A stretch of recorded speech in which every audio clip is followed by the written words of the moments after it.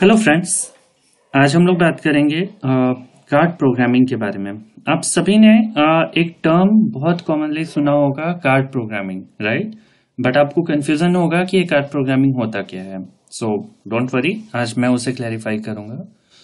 Card programming guys जो आप access control cards में देखते हैं नंबर उसके ऊपर प्रिंटेड होता है या फिर आप कार्ड को शो करते हैं तो जो नंबर आपके एक्सेस कंट्रोल सॉफ्टवेयर में आता है राइट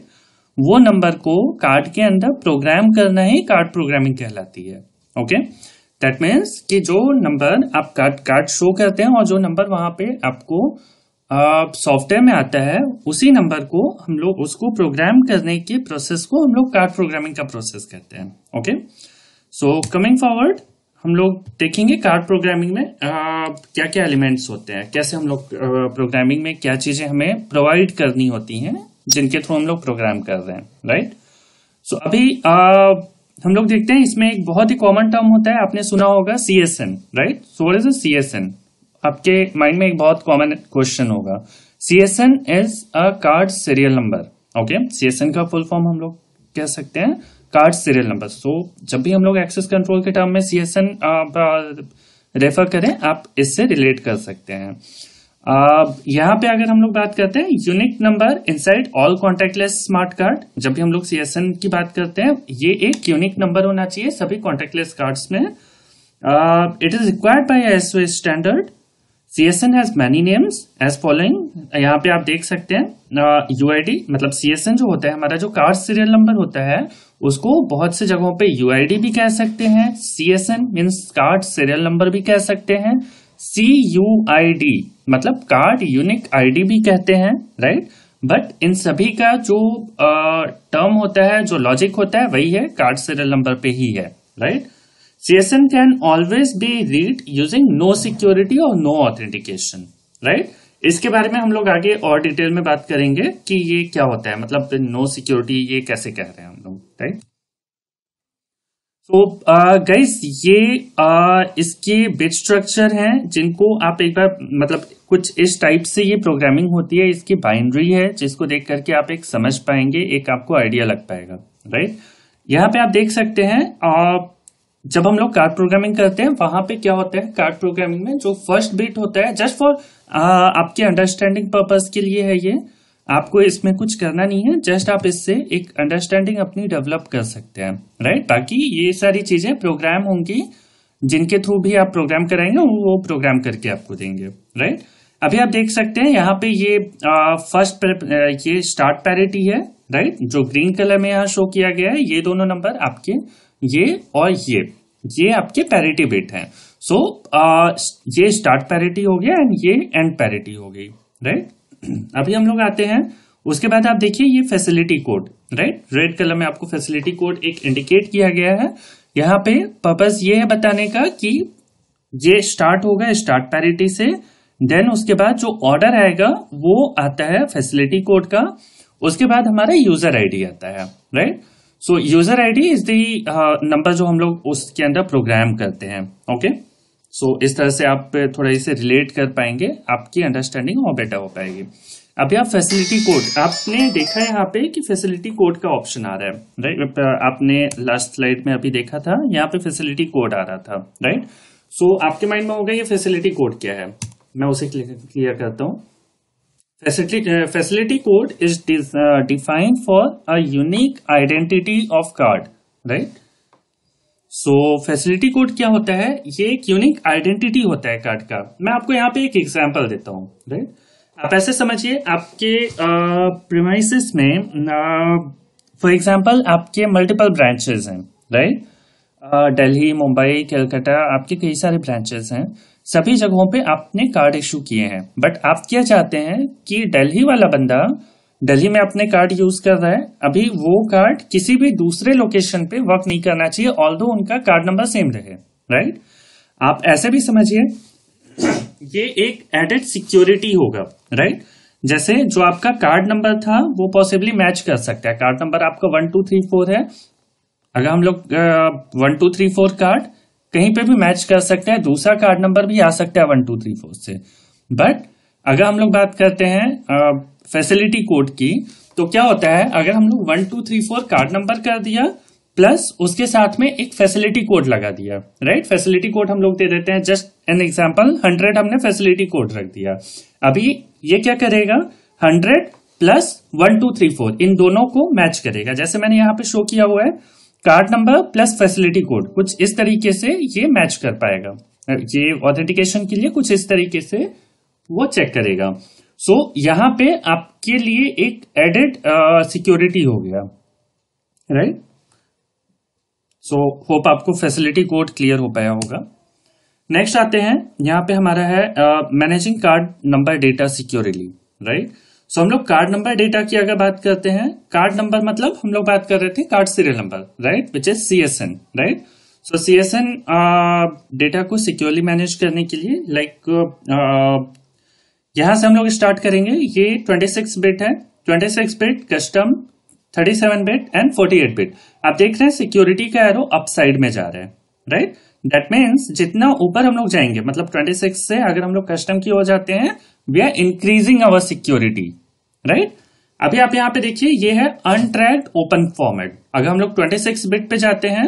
सो so, ये एक अनट्रैक्ड ओपन फॉर्मेट है. Right right? आप देख सकते हैं जो आपके मोस्ट ऑफ़ द इंस्टॉलर है मार्केट में जो सॉरी मोस्ट ऑफ़ द जो कंपनीज़ हैं वो ट्वेंटी सिक्स बिट को सपोर्ट करते हैं. राइट ट्वेंटी सिक्स बिट एक ऐसा बिट स्ट्रक्चर है जो कि मोस्टली बहुत ही कॉमन अवेलेबल होता है बहुत ही कॉमन मैच कर जाता है. सभी location most of the installation में right most of the controllers and biometrics में। सो so, क्योंकि ये अनट्राइड ओपन फॉर्मेट होता है इसमें मैं आपको बता दूँ डुप्लीकेसी के चांसेस बहुत ही ज़्यादा होते हैं। जैसे मैं बता रहा था अभी वन टू थ्री फोर एक कार्ड फॉर्मेट का एग्ज़ाम्पल लिया था मैंने तो पॉसिबल है आ, कि वन टू थ्री फोर के दो तीन कार्ड आपको मिल जाए राइट सो यहाँ पे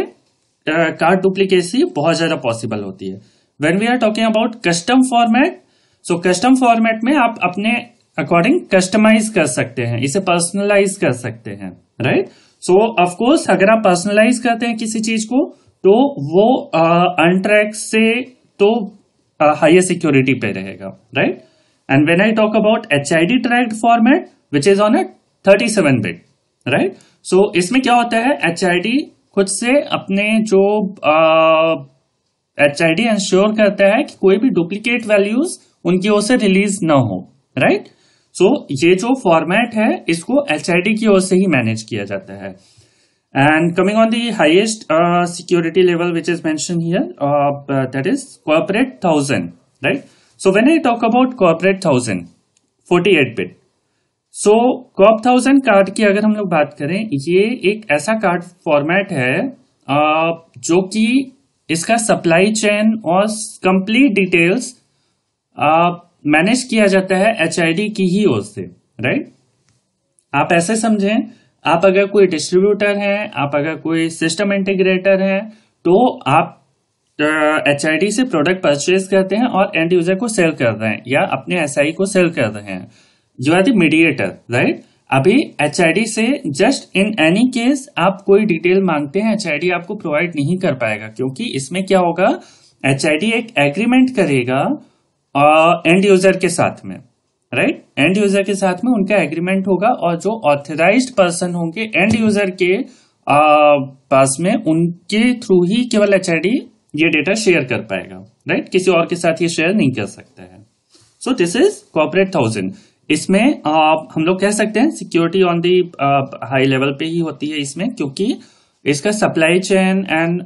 सारी डिटेल्स एच आई के एंड से डायरेक्टली मैनेज होती हैं। So coming to the next slide जैसा हमने बात किया हुआ था आ,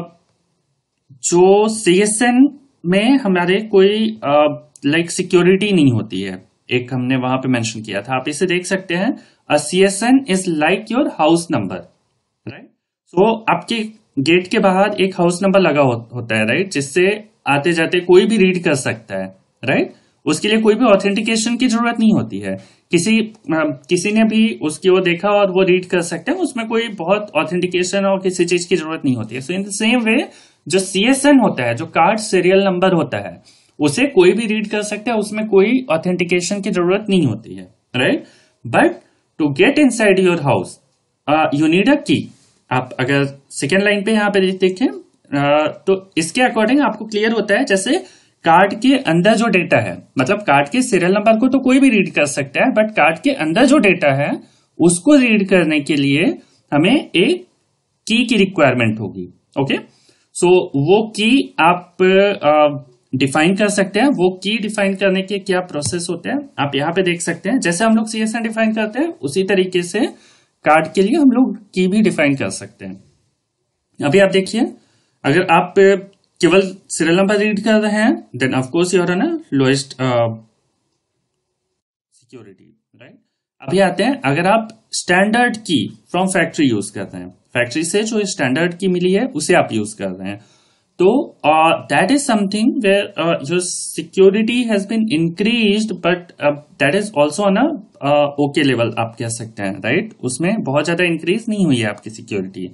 generate own custom keys with encoder अगर आप ओन कस्टम कीज जनरेट करते हैं एनकोडर के through then of course that is a personalize security और कस्टमाइज सिक्योरिटी राइट सो इसमें आपकी हाइएस्ट सिक्योरिटी होगी। When we are talking about transfer uh, custom key management to HID that means uh, personalized security होगी जो कि HID की ओर से आपको मिल पाएगी right personalized security although that is a personalized security but that is been provided by the HID, right? That has been managed by HID. So of course आपको वहाँ पे आ, आप कह सकते हैं कुछ ज़्यादा सिक्योरिटी मिल पाएगी क्योंकि उसमें आ, जो सिक्योरिटी लेवल है काफ़ी लेवल तक वो मैनेज किया जाता है HID के through and when I am talking about H I D global elite program so this is something where personalize security provision securely right so ऐसे कह सकते हैं जो आपका डेटा सिक्योरिटी है जो आपका डेटा है जो कीज हैं वो एच की ओर से डायरेक्टली प्रोवाइड करते हैं राइट सो so, वहाँ पे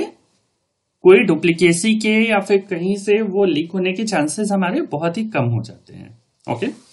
so that is the way हम लोग अपने कार्ड को प्रोग्राम करवा सकते हैं। मैं आपको बता दूँ कार्ड प्रोग्रामिंग इज़ समथिंग जो कि एक नॉर्मल रीडर से नहीं होती है। इसके लिए कुछ स्पेसिफिक रीडर की रिक्वायरमेंट होती है। जैसे एच uh, के भी कई सारे रीडर्स आते हैं। मैं किसी का आप ऐसे समझिए कि वो रीडर्स स्पेशली अवेलेबल होते हैं for card programming purpose only right so आप उन रीडर्स को यूज़ कर सकते हैं या फिर अगर आपके पास रीडर्स ना हो तो फिर आप प्रोग्राम्ड कार्ड परचेज कर सकते हैं राइट और आप अपने डिस्ट्रीब्यूटर को भी कॉन्टेक्ट कर सकते हैं पॉसिबली उनके पास कोई प्रोग्रामर अवेलेबल हो okay all right. Thank you.